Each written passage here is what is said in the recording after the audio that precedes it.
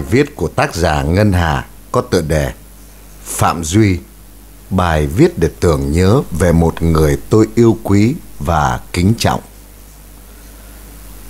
Nhạc sĩ Phạm Duy có một bức ảnh đẹp nhất mà tôi nhớ mãi khi nhắc đến ông, Đó là bức ảnh ông chụp chung với nhà thơ Hữu Loan. Thật may mắn trong đời sống nhỏ hẹp của tôi, hơn 40 năm qua tôi đã được gặp cả hai nhân vật trong bức ảnh này. Phạm Duy vốn là tượng đài âm nhạc của cha tôi, dù cha tôi chỉ sinh sau ông hơn một thập niên. Nhưng xuất thân từ thầy giáo dạy nhạc của những năm thập niên 50 và 60 ở trường học sinh miền Nam, nên cha tôi có vốn âm nhạc Việt kha khá, trong đó phải kể đến những sáng tác của nhạc sĩ Phạm Duy. Chính cha tôi đã truyền cho tôi tình yêu âm nhạc từ thuở bé. Qua những bài hát của nhạc sĩ Phạm Duy, những bài hát đó vào thập niên 80 ở miền Nam vẫn còn nằm trong ca khúc cấm vì nhạc sĩ Phạm Duy bị chịu tội hai lần với Cộng sản Dinh Tê thập niên 50 và vượt biên sau 1975. Trong con người tôi có một loại kháng thể rất lạ, đó là dù bị tẩy não từ bé về chủ nghĩa anh hùng, chiến tranh, bạo lực, nhưng tôi vẫn không thể ngừng được nước mắt trên thân phận người và hát cho những tâm hồn yêu thương nước Việt này bằng cả sự thơ ngây trong sáng nhạc Phạm Duy đã đi vào tâm thức của tôi như vậy. Năm 2001, lần thứ hai, nhạc sĩ Phạm Duy về Việt Nam nhờ lời rủ dê của nhạc sĩ Bảo Trấn. Tôi đã được diện kiến ông ở nhà hàng trên đường Trương Định. Đó cũng từng là chốn các nghệ sĩ miền Nam lưu vong trở về quê nhà đến đây chủ quán ngày trước cũng trong một ban nhạc miền Nam trước năm 1975. Tôi ẩn mình sau anh Bảo Trấn để được quan sát và ngắm nhìn tượng đài nhạc Việt trong tôi lúc bấy giờ. Ai ngờ không hiểu vì sao ông phát hiện ra tôi hỏi ngay Em là ai? Anh Bảo Trấn giới thiệu Đây là Ngân Hà, phóng viên báo Tiền Phong Cô ấy muốn phỏng vấn bố nên đi theo. Ông liền gọi tôi lên ngồi gần ông và nói, Giờ em muốn hỏi gì thì hỏi đi. Thật ra, tôi đâu có ý định phỏng vấn, nên không chuẩn bị máy móc ghi âm hay thậm chí là cả sổ sách gì cả. Vì lúc đó trong tôi, ông quá lớn, còn tôi mới chỉ là một phóng viên mới vào nghề được vài năm lại viết đủ thứ lĩnh vực, không chuyên sâu về âm nhạc, nên đâu có đủ tự tin mà phỏng vấn một tượng đài âm nhạc. Nhưng tôi cũng không thể bỏ lỡ cơ hội này, nên quyết định vẫn đặt câu hỏi để nghe ông trả lời. Thật kỳ diệu! Toàn bộ cuộc trao đổi trong suốt một tiếng đó, tôi về nhà ghi lại từ trí óc mình không sót một lời nào. Cẩn thận hơn, tôi gửi cho ông đọc trước khi gửi tòa soạn. Ông đọc xong gửi email nói rằng rất hài lòng bài phỏng vấn này, chỉ là không biết nó có được đăng ở báo chí cách mạng hay không thôi. Báo Tiền Phong lúc đó vẫn có truyền thống là tờ báo tiên phong miễn là có giá trị nhân văn nghệ thuật. Dù tên tuổi có bị vào danh sách đen gì đó, tổng biên tập dương xuân nam đã chấp thuận đăng bài. Tất nhiên, cũng có edit vài đoạn. Sau đó, nhạc sĩ phạm duy đã đăng trên web của mình toàn văn bài của tôi và đưa đăng một vài báo ở hải ngoại. Ngay lập tức, một làn sóng các email tới tấp gửi về trong đó có rất nhiều quý bà phàn nàn về sự hỗn xược của tôi khi để nguyên câu trả lời của ông. Nguyên văn là thế này. Văn cao, trịnh công sơn uống rượu. Còn tôi thì không biết uống rượu, nhưng tôi uống đàn bà. Câu trả lời thật nhất của người đàn ông 70 tràn đầy sinh lực với những sáng tác vượt thời gian và không gian, với những tháng ngày làm việc không ngưng nghỉ đã định hình phong cách viết của tôi sau này, phải giữ lời chân thật của con người, dù đó là lời có thể làm phật ý nhiều người. Nhưng con người ta chỉ có một điều để dám sống với chính mình, đó là sự chân thật, thì cớ gì phải che giấu hoặc khoác lên những mỹ từ sáo rỗng và giả dối. Năm 2005, Phạm Duy nhắn tôi ra hãng đĩa Thanh Sơn ở quận 1 lấy đĩa hương ca ông phát hành để tặng cho tôi. Trong đó có một bài ông viết ở Sài Gòn và ông gọi tôi đến nghe ngay ông tự đàn và hát cho tôi nghe bài có tên Tắm chuồng sông Trăng. Bản này do ca sĩ Duy Quang, tôi mê chết đi được, bởi vì đó là bài hát ông nói ông tặng tôi và được hát bởi giọng ca mà tôi vô cùng yêu thích từ khi biết nghe tân nhạc Việt Nam năm 13 tuổi. Hồi đó tôi hay nói ca sĩ Duy Quang hát bằng bụng vì sự thanh thoát và trong trẻo của anh kể cả bài hát thê thiết nhất, anh cũng biến nó thành một variety of soul tôi mê giọng hát duy quang hơn bất kỳ ca sĩ nào cùng thời. Đến nay vẫn vậy.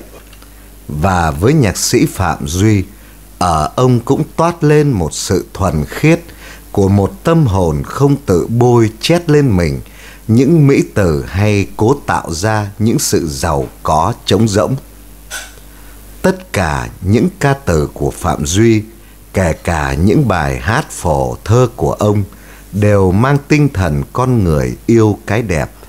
Và dù có tồi tệ mấy, cũng là để đẫm mình trong bùn, mà vươn lên nhận thức ra và hướng thượng. Đó là những kẻ sinh ra vác thập tự giá để được đóng đinh và tìm thấy hạnh phúc trong sự hồi sinh về sau này tôi còn được vinh dự đến thăm ông và giúp ông một số việc về vấn đề soạn tư liệu âm nhạc cho hồi ký của ông tại Tư Gia khi ông về Việt Nam ở hẳn. Chúng tôi coi nhau là cha con, anh em, bạn bè, tâm giao nhưng vô cùng tôn trọng sự riêng tư của mỗi người và cũng như mọi người thân mà tôi yêu quý và yêu thương. Bất kỳ lúc nào ông cần đều có tôi bên cạnh, còn bình thường tôi cũng không đến nhà ông nữa. Thậm chí những chương trình âm nhạc trong nước vinh danh sau này tôi cũng không dự vì thật ra cuối đời tâm nguyện của ông ở cùng con cái đã được hoàn tất và đó là điều duy nhất ông muốn làm khi trở về Việt Nam. Cũng vì lời hứa với vợ Hiền, cô Thái Hằng. Chỉ có một điều mà tôi biết vì ông luôn tâm sự với tôi rằng ông thương con cái của ông hơn bất kỳ điều gì trên đời sẵn sàng đánh đổi tất cả để cho con được có cuộc sống bình an ngày ông mất chỉ sau anh di quang vài tháng cũng vì quá suy sụp vì nhớ con có người hỏi tôi sao phạm duy lại so sánh với hữu loan? Đó là hai con người ở hai thái cực khác nhau. Với tôi, về tính cách, nhà thơ hữu loan quả là có sự quyết liệt và thẳng thắn, cương trực như đá, khác hẳn với phạm duy mềm dẻo, uyển chuyển như nước. Nhưng họ là những con người có chung một thái độ, sống mà không bao giờ tự dối mình lại là những tâm hồn tri kỷ, đồng điệu trong nghệ thuật. Họ còn là những thiên tài, thông minh, lỗi lạc. Thế nên họ hiểu rõ bản chất của chính trị và những kẻ phi nhân khi lợi dụng nghệ thuật để lòe bịp và lừa dối dân lành. Nghệ thuật đích thực không phải là ánh trăng lừa dối, chỉ có kẻ dùng ánh trăng để soi cho kẻ mù lòa bằng những lời bịp bợm, sáo ngữ mới thật sự đáng khinh bỉ biết chừng nào. Tất nhiên, cũng chẳng cần soi lại quá khứ, vì chưa bao giờ luật nhân quả lại ứng nghiệm như thời đại này. Vì vậy, ngọc sáng thì không có gì che đậy được, còn bóng tối mới cần khoác áo các vì sao. Ngân hà viết nhân kỷ niệm 100 năm ngày sinh nhạc sĩ Phạm Duy.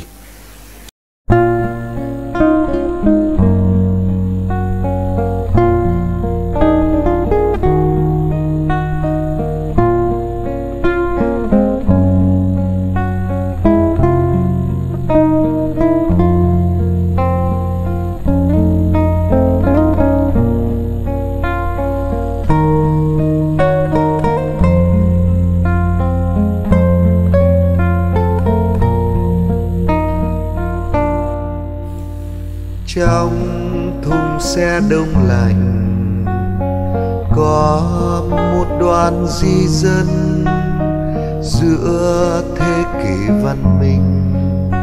Tôi thấy trong ống cống có đời sống gia đình. Ôi thế cuộc mưu sinh, ôi thế kỷ văn minh. Trong thành phố đông người, không thiếu hiền tài nhân.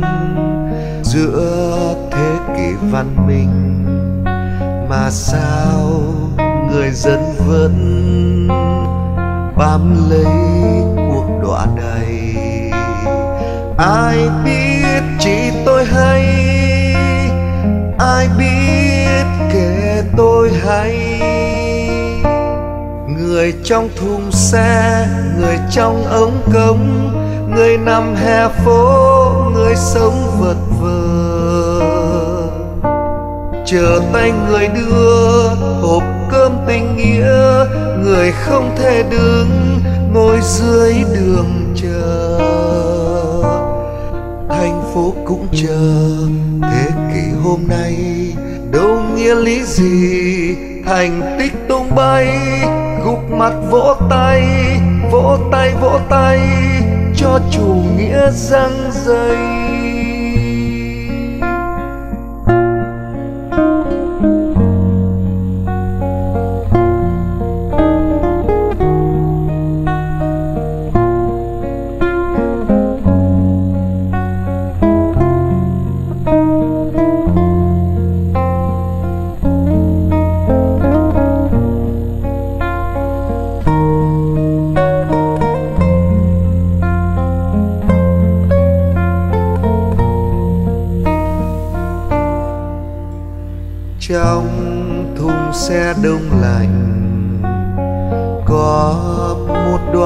di dân giữa thế kỷ văn minh. Tôi thấy trong ống cống có đời sống gia đình. Ôi thế cuộc mưu sinh, ôi thế kỷ văn minh.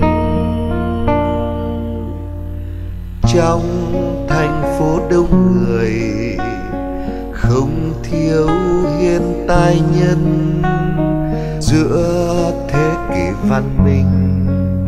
Mà sao người dân vẫn bám lấy cuộc đọa đầy ai biết chỉ tôi hay, ai biết kể tôi hay?